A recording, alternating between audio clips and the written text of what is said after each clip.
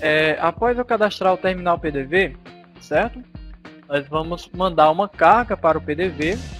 As primeiras informações nas quais a gente colocou serem enviadas ao caixa, certo? Lembrando que essas informações nós mandamos essa, essa carga, né, de dados para os PDVs, isso é preciso ser enviado apenas uma vez, certo? Não tem necessidade de ser enviado mais de uma vez, ou seja, ah, toda vez, toda vez que alterar um produto ou alguma configuração, eu preciso mandar carga? Não, não precisa, certo? Essa carga você faz apenas uma vez, tá certo? Onde nós fazemos isso, eu tenho um ícone aqui, certo? Esse ícone aqui que é o cargo de dados para PDVs, ou tenho aqui o menu transação e tenho essa mesma informação aqui, certo? Cargo de dados para PDV. Nessa tela eu vou dizer qual é o PDV que eu quero mandar. No meu caso eu vou mandar para o 003, porque o 004 foi só um PDV de teste, né? De, de do, do.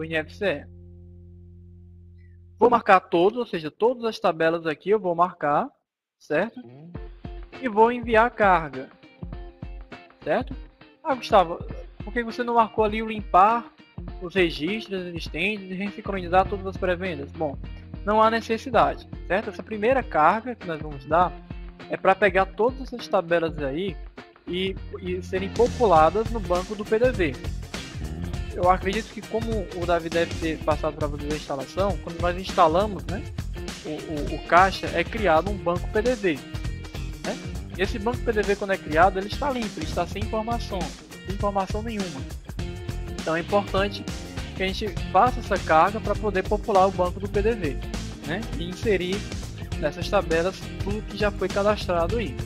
Certo? Então vou enviar a carga aqui. Lembrando que não precisa enviar, marcar a informação de limpar os registros e ressincronizar todas as pré-vendas. Enquanto ele fica carregando aí, para que, serve esse limpar os registros e se ressincronizar todas as pré-vendas? Bom, normalmente às vezes corre o, o, o risco, né, vamos assim dizer, de o caixa perder a comunicação com o servidor, certo?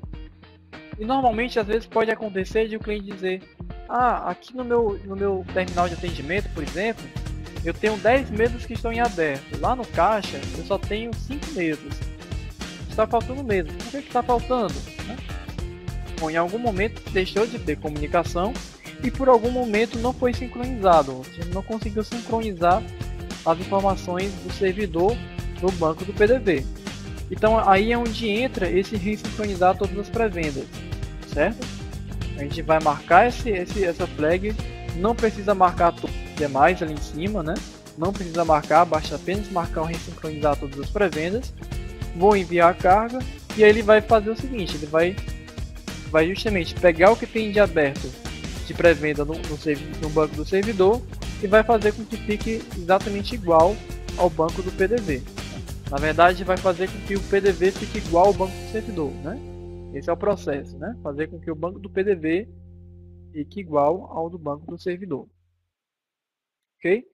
Bom, ele está demorando um pouco aqui. Como é que a gente pode verificar se está dando, tá dando certo ou se está dando algum erro, né? Bom, é justamente num processo que a gente, que a gente faz de verificar os logs de comunicação.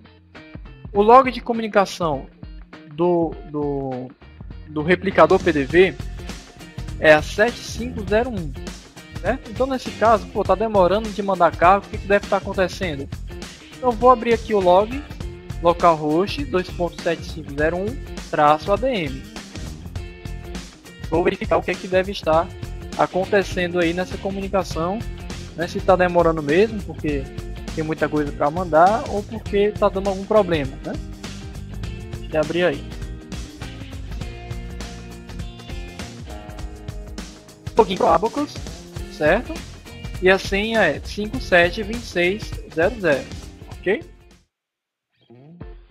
Eu vou acessar aqui os menus. Ah, para me saber se esse log que eu entrei se é o correto mesmo, né? Veja que no início ele dá um, bem-vindo, né? E diz qual é o serviço que você acessou, né? Então no meu, no meu caso aqui ele está dizendo que é o serviço é a replicador PDV, certo? Caso vocês tenham dúvida, né? Desde um primeiro momento assim, você troca a porta, né? Não, não tem problema nenhum. Você acessa e verifica se a porta que você entrou se é a que você quer mesmo. Né? Bom, vou no menu aqui, visualizar log.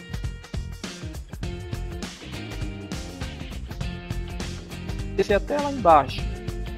Bom, ele está comunicando com o PDV 4, ele só está dizendo que aquele PDV lá, 192, né, 168.0.100, ele está desligado, né? Ou seja, ele não está conseguindo comunicação com esse PDV, o que é normal, né? Que nós já esperamos que isso acontecesse, mas ele está comunicando sim com o PDV 04, certo? Que é justamente o ID 04, mas o número dele é 003, né? Ele deu um ok aí, ó, agora está começando a iniciar a carga dele, certo? Veja que ele, tá, ele terminou aí, né? Veja que lá no log, né, de replicação, Vou dar uma atualizada aqui. Você vai poder ver, era justamente que eu queria mostrar isso aqui, né? Justamente ele debugando as informações de comunicação, né? Ele tá enviando, ele tava, ele ficou enviando a tabela NCM, né? A tabela de NCM, é, várias tabelas de NCM. Né? Ele já, já mandou ó, grupo, tipo, o, o produto, né? Já mandou a tabela aqui mais abaixo de unidade, de opção, enfim, várias tabelas. Isso aqui você consegue verificar a replicação acontecendo, né?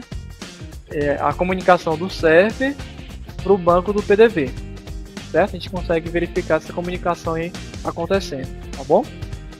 Bom, já finalizando aqui, só acessar aqui a, a, a, o aplicativo do IDAssist PDV, né? Depois da carga ser enviada. Lembrando que é interessante que a gente sempre coloque para iniciar, certo? Esses aplicativos de exercício como um administrador, certo? O meu caixa está fechado, a primeira tela inicial é essa, né? Ele mostra que o caixa está fechado. A única diferença, pessoal, de um caixa SCI, né, que é o não fiscal, do caixa que é NFC, por exemplo, de um caixa para outro, a diferença é que é a cor, né? Por assim dizer, né? A cor do, do NFC vai ser uma cor azul e o do não fiscal vai ser essa cor aqui meio que marrom né? mas as, são as mesmas informações, são os mesmos, os mesmos menus, não muda absolutamente nada, tá bom? Então, as operações de caixa, né, estão todas aqui, certo? As de, de de operação, né? Como primeira operação a gente tem a, a operação de abrir caixa, né? Operador abrir caixa, vai dizer qual é a pessoa que está abrindo caixa, né? Eu vou dizer que foi esse usuário que eu cadastrei com a senha 1 e aí ele vai abrir o caixa, né? E vai dizer se você deseja realizar um suprimento da finalizadora. Né? Então eu vou dizer que sim. Vou dizer quem está fazendo esse processo.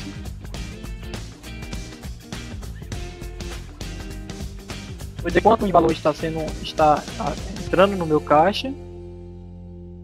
Vou confirmar essa informação, né? 100 reais, motivo de abertura de caixa com autorizado pelo João. Então pronto, ele imprime esse relatório né, de, de, de fundo de troco, informando o valor. Lembrando que vai ter duas vias, né? É, é uma via que é para a pessoa que está recebendo assinar e uma outra via que é para a pessoa que está dando dinheiro a assinar também, né? Para ficar uma, uma, coisa bem é, certinha, né? E aí está a minha tela de venda, né? Veja que como eu coloquei a minha tela inicial, venda balcão, né? Então a minha tela inicial está sendo essa daqui, ó, onde aparecem os grupos de produtos no meio e os meus produtos no, no meu lado direito. Certo? Lembrando que eu posso alterar essas telas, né? Eu posso ficar alterando essas telas sem problema nenhum, né? Se eu quiser ir para a venda direta, que é aquela venda que eu falei, né? Onde você digita o código do produto, né? Opa, deixa eu fechar isso aqui. O código do produto e a quantidade do produto, né? E vou dando Enter. Normalmente a gente utiliza isso aqui em supermercado, né? E tem a tela do visualizar contas, né? Onde a gente vai ver as contas que foram abertas, as contas que estão abertas, né? E as, as possíveis operações de, de, de, conta, né? Que é emissão de cupom, da conferência, né? Onde você pode cancelar item, é, transferir itens, enfim. Todas essas operações a gente vai poder ver nessa tela de visualizar contas, certo? Bom, foi só para dar uma, uma, dar uma introdução né, ao terminal PDV é bem básico, né? Só abrir o caixa mesmo, ver essas operações aqui. Não foi muita coisa, mas a gente vai entrar com mais detalhes no próxima, na próxima aula amanhã. A gente inicia do caixa, finaliza, a, gente vê todas as operações de caixa, certo? como é que faz, a gente já fez a abertura, como é que faz as operações fiscais, como é que vende, né? Como é que abre uma mesa, enfim. Faz todas as operações de caixa, finaliza o PDV e entra na parte de integração.